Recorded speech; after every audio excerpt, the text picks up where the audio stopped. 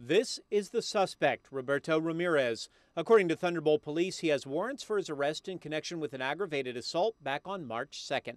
Police say Roberto came here to the Thunderbolt Regency mobile home park to try to settle up a debt of $10. When he was kicked out of that mobile home, police say he came back through the back door and stabbed the victim in the chest with an apparent oyster knife. We'd like to get him off the street uh, before he hurt somebody else. Thunderbolt Police Captain James Pierce has gotten information that Ramirez is still in the area. He's hoping the Hispanic community will come forward to help find him. They do not have to identify themselves, obviously. They don't have to leave a name.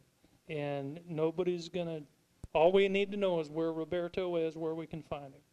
Roberto Ramirez is 32 years old, 5 foot 7 and weighing 160 pounds. His last known address is Downing Avenue in Thunderbolt, but he may also be staying off Quacco Road. If you have any information about Roberto Ramirez's whereabouts, call Thunderbolt Police at 354 3818 or Crime Stoppers at 234 2020. And remember, you can leave an anonymous tip, and if it helps lead to an arrest, you're eligible for a cash reward.